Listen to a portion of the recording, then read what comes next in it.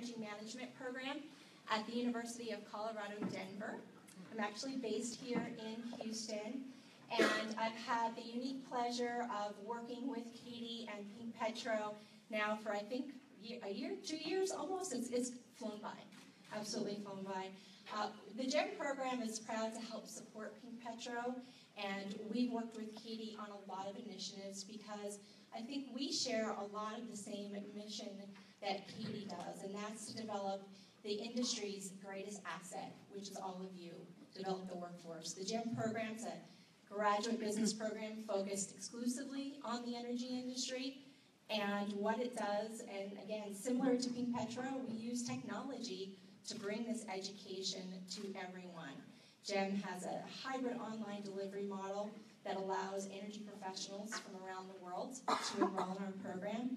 And in addition to that degree program, what we do is provide free educational resources for the workforce so that you can always develop and grow. And you've probably seen some of our webcasts that we've done with Pink Petro. And, and that really works with what I think Katie's trying to do here is really connect a global community to be able to help you all develop, help you able to utilize the resources that are out there to really realize what your career goals are, whether you can articulate them now or need help articulating them, and then being able to, to move to that next step and finding the resources that are available to you.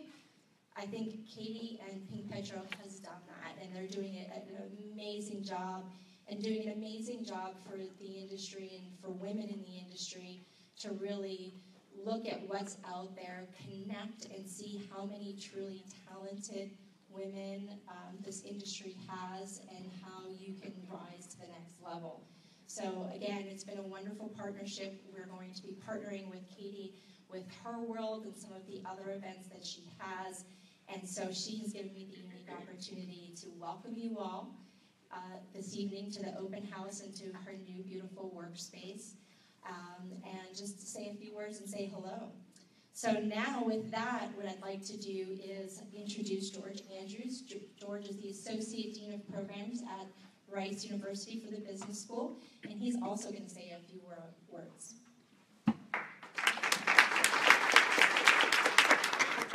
So I have a 14-year-old daughter at home, and recently she came home from a class project, and she plunked it down in front of me, and she said, Dad, you've got to see how the disparity between soccer earnings, Carli Lloyd, you know, look at these players, and they're making you know, four figures, uh, four zeros by the number. Look at these male players. Yeah, Dad, that's seven figures. What's going on here? Why is it? Why is this happening? Tears running down my face. She said, "You get me. You get me." I said, "No, I, I, I just am so happy you're using data to this." and then I went on, you know, saying to dad and I told her why she was wrong, the economics, and you got to think about the fact this is entertainment, and, and you know, there's a supply and demand. And at some point, she listened for a few minutes and she held up her hand and said, Dad, I'm not looking for the reason this is happening. I'm looking for what we can do to make it different. And that was that, that mind-blowing moment for me. You know, what can we do to make it different? And so at the business school at Jones, we think about that. We think about the different things, the competitive advantages we have as a business school in this space. One is that we put out great uh, breaking research on the areas of gender inequality and what we can do in the workplace to make it better. And we have faculty who are constantly thinking about that. And we have something called Rice Business Wisdom. It's a website, if you haven't seen it, where we try to disseminate their kind of meaty tones sometimes, the research is a little deep, but down into kind of consumable nuggets, because we're hoping that people in the industry read it so that we can start to immediately make an impact on people's way of thinking in the industry. That's one thing we do. The other we do is because we do have students coming is we think about how can we transform students to be inclusive in their mindset and the way they think when they go back to work. And so we just hired a director of diversity, Lina Bell, who's here tonight. And she came up, she's put forward a six-point plan that we're enacting that is this plan to think about this being an inclusive place all the way throughout the process. Yes, we're looking for students who are diverse and, and more females because we want people sitting next to students who have that kind of thought process. But we also want to convert everyone there to understand how important it is to be inclusive and how important this, this gender inequality to, to close that gap that, that this is happening.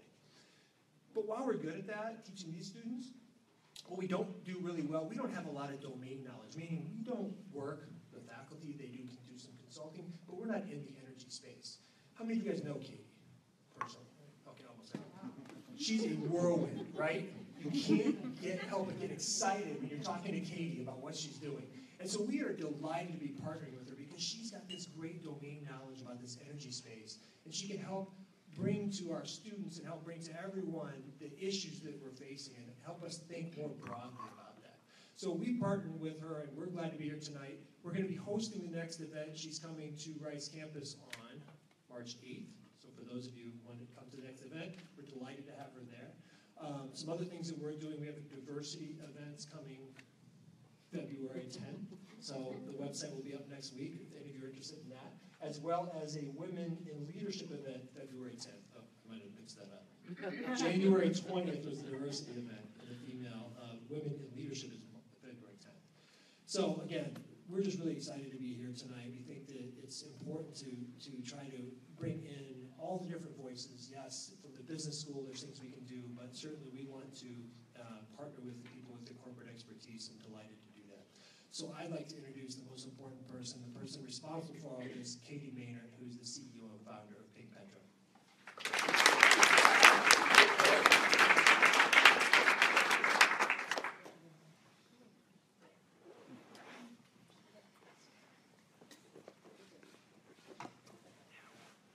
Wow, uh, I think it's really amazing how many people are here tonight.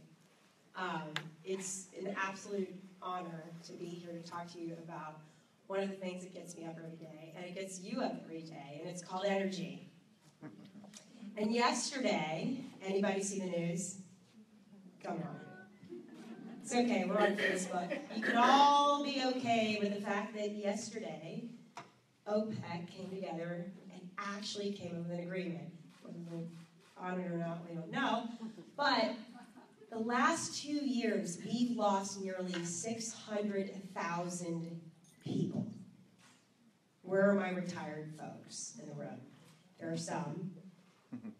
We were critically short on people before this economic event.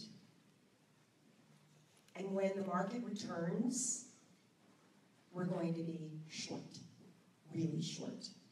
So a couple of years ago, I was on an airplane, and you probably heard the story. Long and short of it is, a man asked me why I wasn't at home with my daughter, who, by the way, is that awesome child sitting right over there. Yep, I'm talking about you, Alan. I love you. And um, I said, because my husband is. Well, what would a young lady like you want to be in a dark, dangerous business like oil? And I thought, well, because we make really great money, right? We do really well, and what we do is so vitally important. It's a great job, but it's a meaningful role.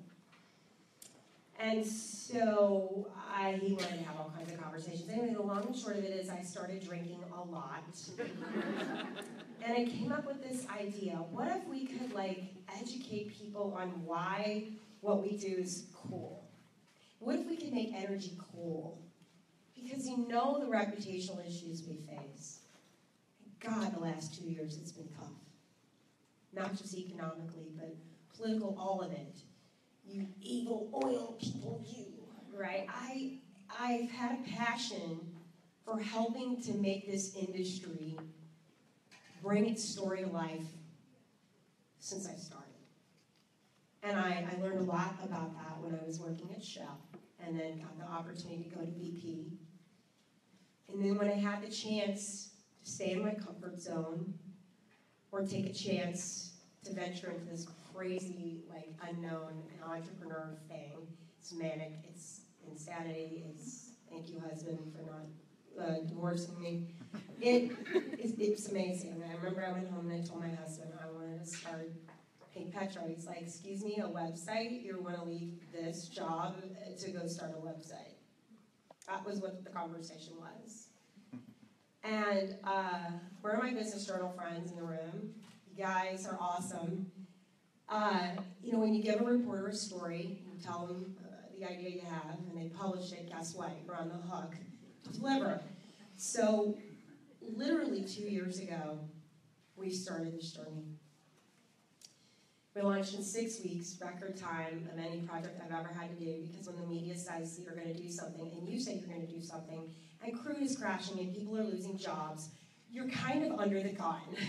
so we launched uh, as crude was just completely come into a crash. We launched on International Women's Day, very intentionally, uh, which our two-year official anniversary is coming up March 8th. No surprise there that we're having our second annual uh, Her World Forum because I wanted to be a community. I wanted to keep women together. I wanted to involve men. I wanted to I wanted to say, you know what? I'm going to bring all these great people together so we can connect, we can learn from each other, and we can get that voice out there about what we do.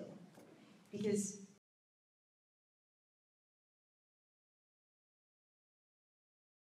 we're in a transition. Women need all forms of energy.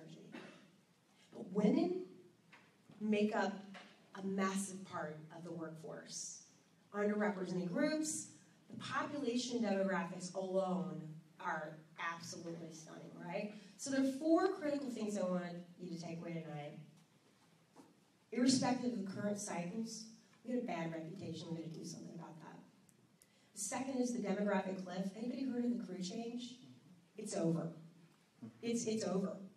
I'm here to tell you that. We studied something called Energy 2021. If you go to energy2021.com, we partner with KCA, one of our awesome partners here tonight, to look at this study. And they have a copy of the study, a preliminary copy of the study. You can get the results on your way out. But it basically says the talent has retired or it's been gone. See you later. People need jobs, and we've got people who've left industry. I think. However, that doesn't mean that energy stops. So we've definitely got a demographic cliff, or what I call the generation gap. The third is the accessibility and cost of training and the pace and development of that, getting people access to what they need. So two folks talked to you here tonight about education. We are all about education because it's a trillion dollar thing. If you're not staying relevant, guess what?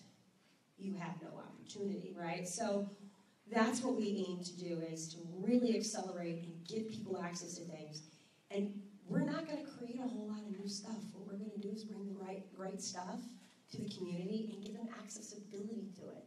Give them reach. Use the internet to learn. Earlier this year, we held our first Her World Forum. Who came? Anyone? Awesome.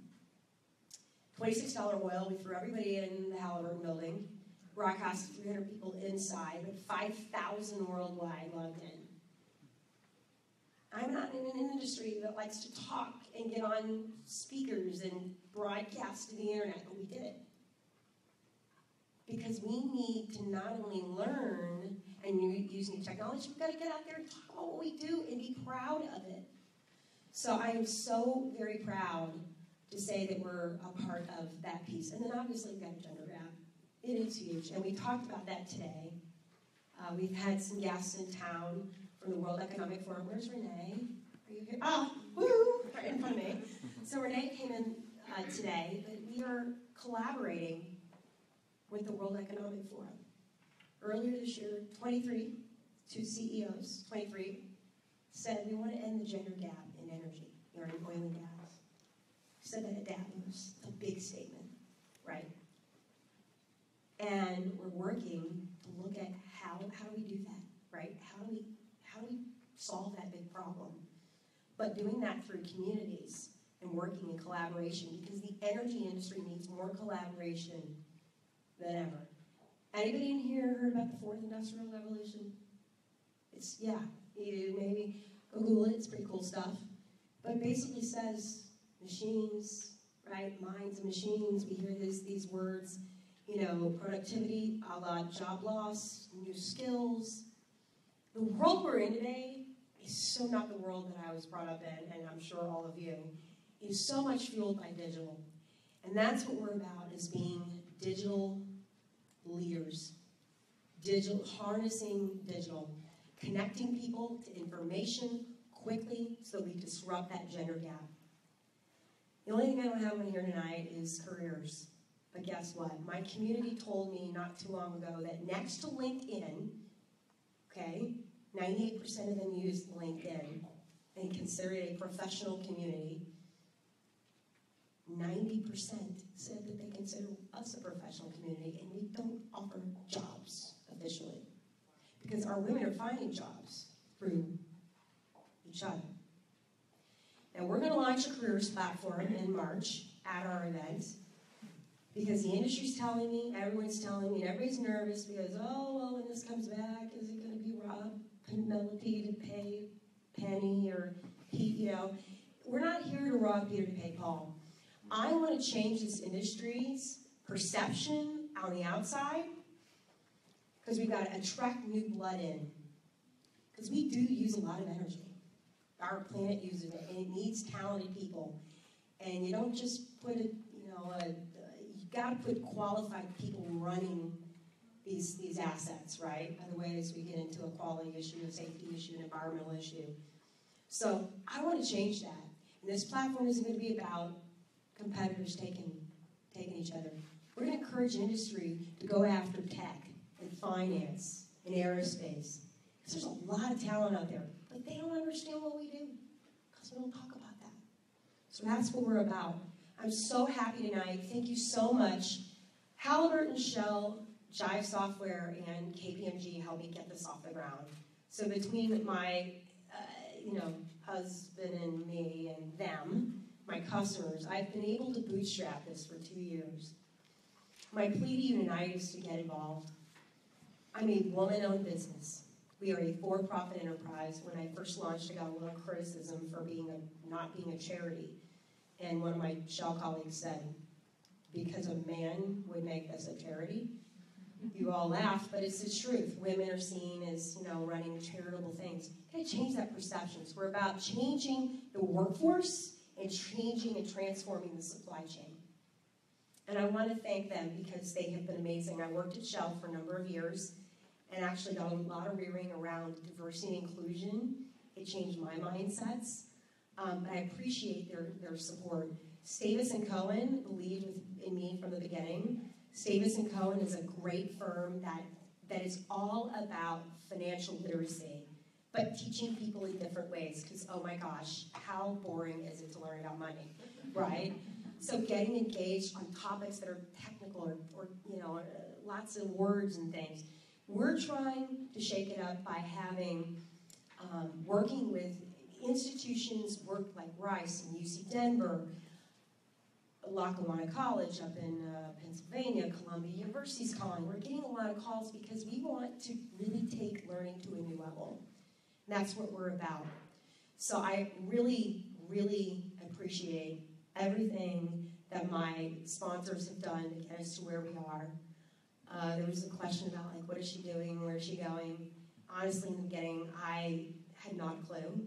Right? I told the newspaper about this great idea that Halbert was like, "Here, go, go, you got it, you got it, go, go do it."